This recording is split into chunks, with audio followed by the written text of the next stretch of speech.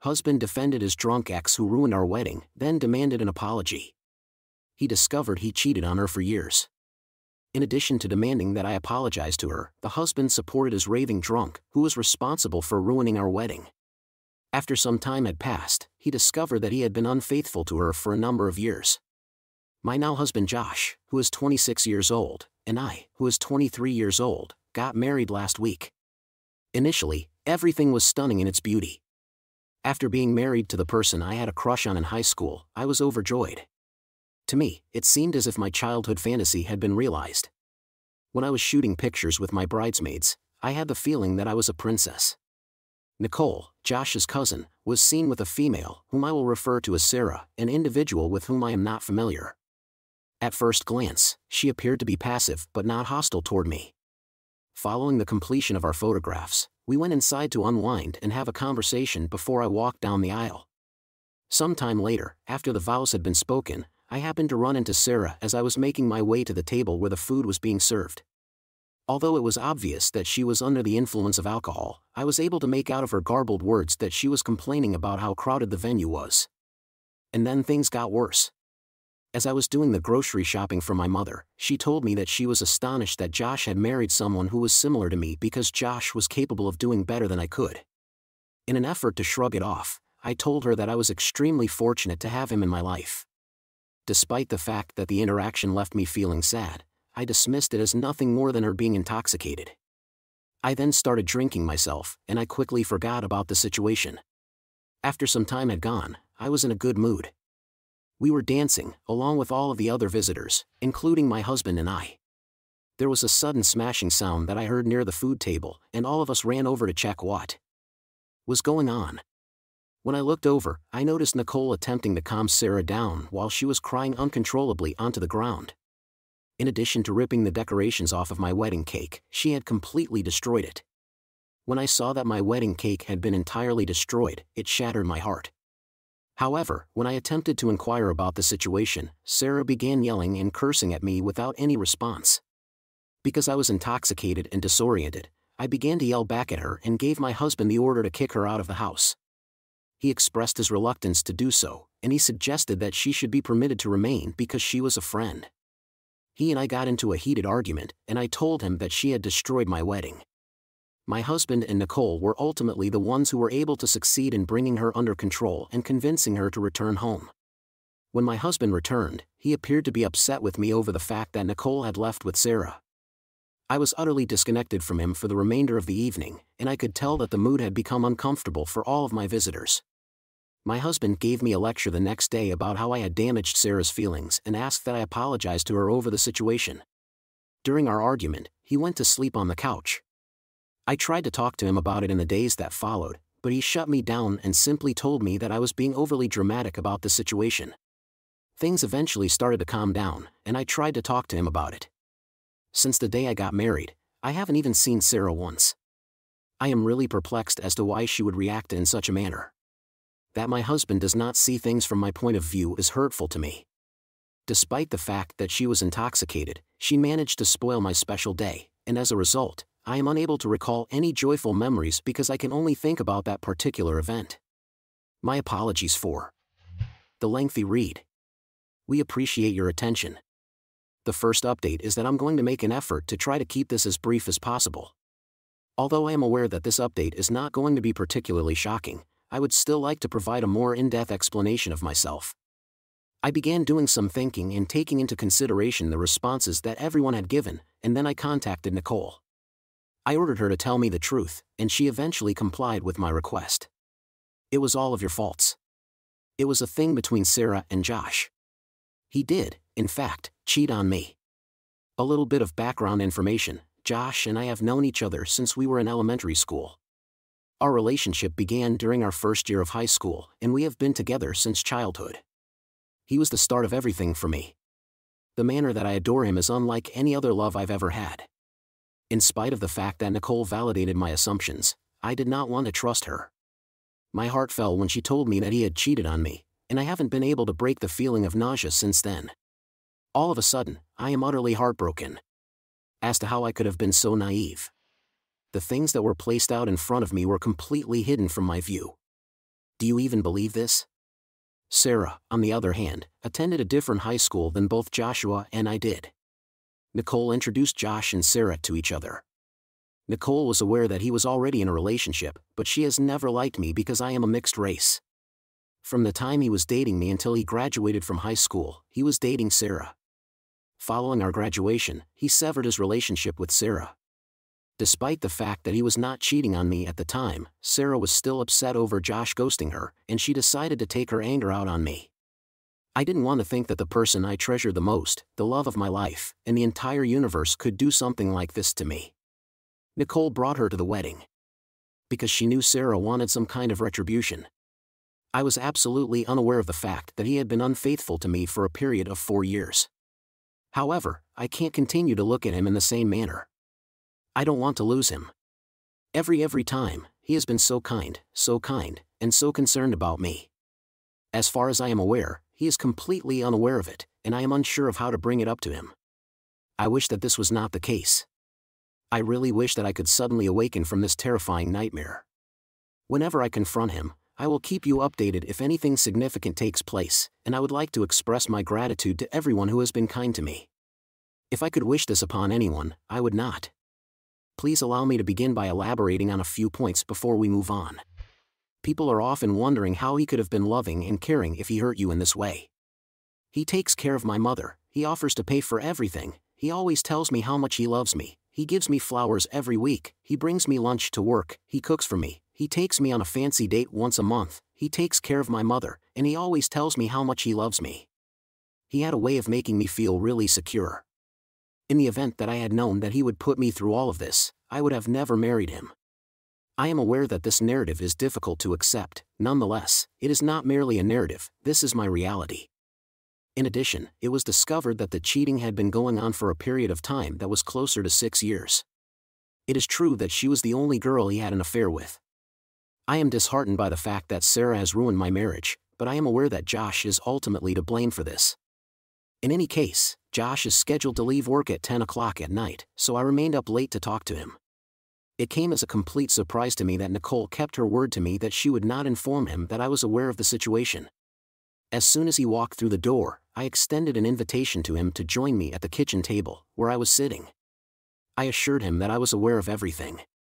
The situation began with me yelling and ranting at him, but it eventually evolved into me pleading with him to demonstrate to me that what he was saying was not accurate. Indeed, it was true, and after some time had passed, he admitted to everything that had happened. Hearing him say that brought everything into sharper focus. He made an attempt to claim that because it occurred while I was in high school, it shouldn't have a significant impact on me and that it was a completely foolish error. I agree, it was a foolish error that he ignored for more than five years. I am aware that we were young, but he had a more mature perspective. In addition to pleading with me to remain, he expressed his regret for everything that he had caused me to go through. Even though I told him how much I love him, I am unable to continue being with him. In response to my question about why he chose to defend her over me, he explained that he didn't want to upset her since he was aware of how psychotic she can be. It is clear to me that he still loves her, or at the very least, cares about her, because he would continue to defend her after all these years. I can't just completely remove him from my life just yet. He is the owner of both the house that we live in and the car that I drive. I have not only lost my marriage, but I have also lost absolutely everything in my life. After I made it quite apparent to him that I was going to be leaving him, he became enraged, and we began to argue. He made an attempt to defend himself by saying that at least he wasn't still cheating, but I don't care, the pain is still the same. Having called my mother and informed her of everything, she has agreed to let me stay with her for the time being. Due to the fact that I reside in Pennsylvania, I have 60 days to finalize my marriage, which is something that I intend to accomplish. Josh is persistently attempting to call me, but I'm not picking up the phone. He taught me what love is, but now he has destroyed the love that I had for him. This is the kind of person I would never consider dating or trusting again in my entire life. In addition to the fact that my wedding was ruined, my entire life has been ruined as well. My house and my car are both in his possession, and he has complete access to my bank account. I am confident that he will battle to keep the pets. I will provide an update to anyone who is interested in knowing when I will go to recover my belongings. Nicole is the only member of his family that is aware of the fact that he cheated on her or anything else regarding the situation. It was his father who took me in after I had lost my own parents, and I loved them just as much as they loved me. There have been attempts made by Nicole and Sarah to get in touch with me, but I have not responded to them. I would like to make it perfectly obvious that when you are so completely enamored with someone, you never really give any thought to the possibility that the person you love and trust the most in the entire world is cheating on you. My attorney informed me that he was obligated to provide me with everything. I paid for the modification of my bank information, and I should receive it as soon as possible. In addition, my attorney advised me that the best course of action would be to have my marriage annulled if I could provide evidence that I had paid for my vehicle. After then, he is obligated to hand it over to me, but at the moment, I am powerless to take any action about my house or car because they are all legally registered in his name. On the other hand, my attorney is battling for me. I can't help but hope that Josh will hand up the dog to me. In conclusion, I would want to extend my gratitude once more to everyone who has shown me kindness throughout this entire process. Reading comments is a chore for me because the vast majority of them are nasty, and it causes me to keep thinking about the entire scenario. More than you probably realize, I am grateful to each and every one of you who has provided me with support and advice. It has been of great assistance to me in getting through this catastrophic event, and if you hadn't been there to talk some reason into me, I believe that I would have just stayed with him. Now that I am aware that he is not the man I believed I had married, I do not wish for him to continue to be the father of my children. There is a possibility that I will have something fascinating occur, but I am not sure if I will update again. At this time, farewell.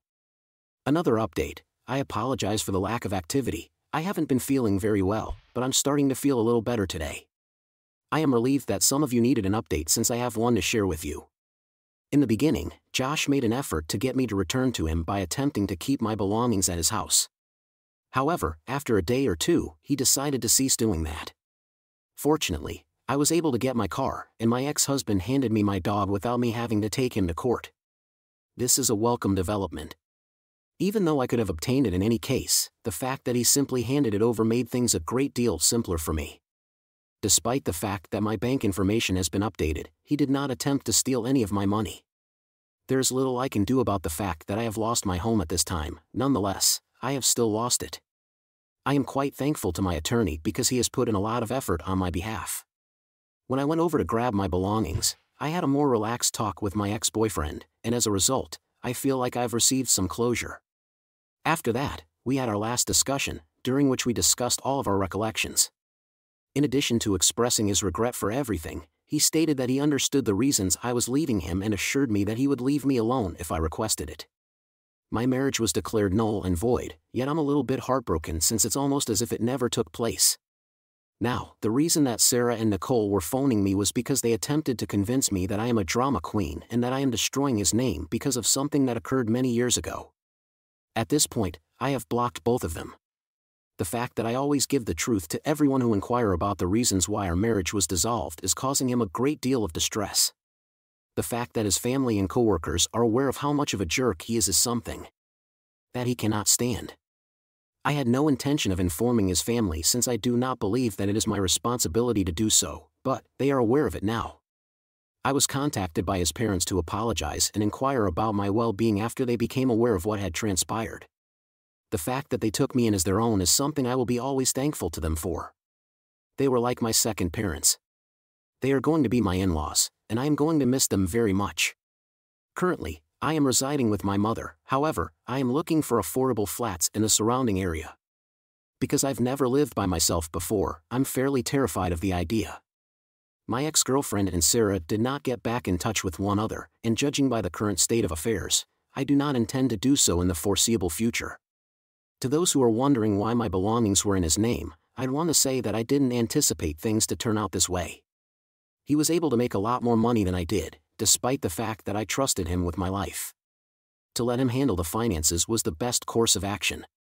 By following through with his threats to keep my car and other belongings, he has, thankfully, not been able to take advantage of me. I am aware that I am just 23 years old and that I have a great deal of life left in me, but it does not seem like that right now.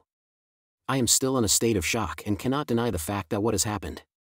Despite the fact that I am aware that I will be fine in the long run, this has completely altered my perspective on love.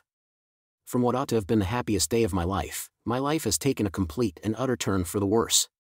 I am resentful. I find myself pondering what would have transpired if I had taken a different course of action, perhaps then he would not have gone through with all of this. In addition, I continue to find excuses for him in some fashion. I'm relieved that I now have a better understanding of who he really is. It makes me sick to my stomach to think that I came so close to having children with him, and that he would have allowed me to go through my entire life without revealing his history of cheating on me. After thoroughly destroying the lives of other people, I don't understand how men like him can claim to be able to sleep soundly at night. It is extraordinary how many of you have experienced something that is comparable to this. My deepest condolences go out to anyone who have experienced such a painful experience. The fact that you guys are attempting to devise strategies of retribution against me has made me laugh out loud. However, I am going to give everything some time to rest because I genuinely appreciate it. Primarily due to the fact that if I did attempt retribution, it would pain me even more. There have been others who have informed me that his kind actions were the bare minimum, but I have never witnessed anyone else doing anything like that. Because my mother and father went through a divorce, I had never witnessed love being shown in such a manner. I was under the impression that it was something that only occurred in Hallmark movies. I would want to express my gratitude to everyone who has sent me messages and remarks of kindness. I have read each and every one of them, and it has been of great assistance to me throughout this entire process. I wish each and every one of you a wonderful day. We are grateful for everything. Moving on to the following tale now. Story 2 A woman produced a handcrafted present for her abusive brother's fiancé, but she was not invited to the wedding ceremony, so I returned the gift she had made for her brother. A lot of my wife, Lena, crochets, and she frequently gives it as presents to her friends and family. When her second oldest brother was married, she sewed a shawl for the bride to wear over her dress in the evening. She did this for the bride. It was a hit with the bride, and ever since then, Lena has been making shawls for other members of her family who are getting married. In the present moment, George, Lena's eldest brother, is getting married once more. Due to the fact that George was abusive to Lena when she was a youngster, she does not have a relationship with him. In contrast, she is courteous but aloof whenever she is required to meet with him. It is not in her best interest to isolate herself from the rest of her family because of George. At work, George and I are friendly, despite the fact that we are not friends outside of the workplace. When George joined my staff, Lena was a strong supporter of this idea. Because my team has a lot of get togethers with our significant others, I was going to ask for a transfer because I did not want to put Lena in a position where she could be exposed to George. Lena's mother asked her if she could crochet a shawl for George's fiancée, and Lena replied that she would be happy to do so. The wedding is a family wedding. In order to avoid Lena having to interact with George, it was decided that after it was completed, I would travel to my place of employment and hand it over to him. At the beginning of this week, the shawl was finished, and I sent an email to George at his place of employment to inform him that I would bring it in today because the wedding is scheduled for tomorrow. This morning, when I arrived at work, I presented George with the shawl and brought to his attention the fact that both Lena and I were looking forward to the wedding. When it was time for lunch, Lena contacted me to inform me that George's fiancée had called her and informed her that she would no longer be invited to the wedding. The reason given was that the location where they are holding the wedding reception is insufficient to accommodate the number of guests that are expected to attend, which is why they are having to make reductions. The wedding invitation, on the other hand, was extended to me. I was irritated by this because it was obvious that they only invited Lena to receive a shawl, which I consider to be really impolite. Due to the fact that Lena is passionate about crocheting, it is highly likely that she would have made one if they had asked her directly to do so. Upon leaving my place of employment, I observed that George was not present at his desk, but the shawl was. Despite the fact that I was still upset that they had used Lena to acquire a shawl, I took it and stuffed it into my work bag. There was a message that I put on George's desk, in which I informed him that the shawl and I would no longer be attending the event because Lena was no longer invited. In order to avoid squandering the value of having a sitter, I informed Lena of what I had done and inquired as to whether or not she would be interested in going out instead the fact that I had taken the shawl was making Lena angry since it was raising a commotion in the family group chat that she was participating in. People were calling her petty because I had taken it back. Lena has requested that I return it to her. I don't believe that I ought to. Lena's generosity is not something they deserve. On the other hand, I do not want Lena to be annoyed with me because of George and a shawl while we are talking about it. If I return the shawl, am I doing the wrong thing? Edit. I have sent a message to the group chat informing them that I have taken it, and if they deserve to be angry with anyone, it should be me. However, I would also do it again because no one has the right to be impolite to Lena. Considering that I am not entirely sure how to post an update in this thread, I will put it here in the event that anyone is interested in reading it. I have not returned the shawl to George, which is something that everyone will be relieved to learn. A portion of the reason I have not returned it is due to the fact that he is currently on his honeymoon. I wouldn't give it back, however, even if he wasn't the one who stole it. Towards the end of that day, Lena expressed her regret for being angry with me. She expressed her gratitude to me for taking the shawl back, stating that she should not have consented to make it in the first place and that she should have never. I had a lengthy conversation with Lena regarding her family and the way in which they do not treat her. When it came to her family, I assured her that I would always be there for her and provide her support because I would be there for her when she was unable to do so. I was curious about her thoughts on being in lower contact, so I questioned her about it. In the beginning, we had only a limited amount of contact with George, his now wife, and her mother. During the conversation, Lena expressed her desire to cut off all communication with George, his wife, her mother, and all other individuals with the exception of her second oldest brother and his wife, Michael and Sarah. She stated that she wanted to do this because of how toxic the group chat had become, which she has since left, and she has demonstrated to me that she has left and deleted the conversation. Everyone else has been blocked, with the exception of Michael and Sarah. Just before I bring up the subject of treatment for Lena once more, I'm going to wait a couple of weeks. Due to the fact that I do not want her to feel pressured into anything, I would want for the dust to settle a little bit. Michael is the one who validated the statement that the wife told Lena about there not being enough space. Michael had advised him some weeks ago that they were well under the amount of people that could be accommodated at their location. It was nothing more than an attempt to exert authority over others. I am aware that several Redditors were worried about my professional life once I adopted the shawl. I had a conversation with my manager and informed him that Lena had crafted a shawl for George's wife. However, they had provided an excuse for not asking her to the wedding the day before the wedding, and I decided to take it back. After I informed my manager of this, he let out a long sigh and then proceeded to tell me that he hoped I hadn't obtained the shawl because George had the potential to make things more challenging for me. But he would have done the exact same thing because George is a nightmare. He would have said the same thing. As a result of the fact that it was not beneficial for Lena to be in his presence, I informed him that I would like to transfer to a different club. It was his suggestion that I leave it with him, and he would figure out what he could do with it. In the event that George had been assigned to my team for the first time, I would have relocated, however, Lena strongly advised me against doing so since she did not want me to upset her family. After receiving a response on Monday, I was informed that I would be transferred to a different team at the conclusion of the week. This other team is in severe need of someone, and when my boss reached out to other managers to inquire about whether or not anyone had an internal vacancy, this manager bit his arm off trying to find information. On the day of the wedding, Michael spoke with Lena over the phone and inquired about the arrangements that we had for the day. Michael was aware that Lena was not invited to the wedding, and he correctly made the assumption that I would not attend if she was not invited. That we were going to go out for dinner and drinks was something that Lena shared with him. He informed her that it seemed like a plan, and he instructed her to send him a text message with the location of our dinner. After witnessing George, his wife, and their mother's emotional breakdown in the group chat, Michael and Sarah made the decision to miss the wedding. It appears that they proceeded to hurl insults at Lena despite the fact that she had exited the group chat without responding. The moment when the family turned against me and our children was the moment that Michael and Sarah made the decision that they would not be attending the wedding at all. The only reason they were going to attend the ceremony was because Lena had not been invited to it they sent George a message informing him that their aircraft had been delayed and that they would not be able to make it to the destination. However, this was merely a pretext that they made, and George did not respond to their request. Their flight was not delayed. With his own eyes, Michael had witnessed George's mistreatment of Lena. He had made an effort to safeguard Lena in any way that he could, but being a child himself, he was only capable of doing so to a limited extent.